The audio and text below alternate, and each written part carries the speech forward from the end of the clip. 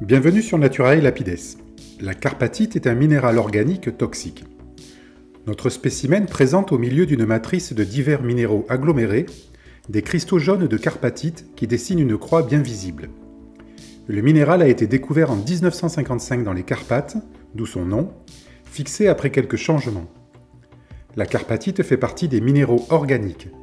C'est un minéral rare qui se crée à la jonction de forte pression et de la présence de composés carbonés. La carpatite est composée de coronène, un hydrocarbure aromatique polycyclique de formule C24H12, exceptionnellement pur. Regardons de plus près, mais pas de trop près cependant. La carpatite doit être manipulée avec précaution car elle est toxique, comme de nombreux composés cycliques du carbone. Les cristaux sont aciculaires et se croisent dans la matrice.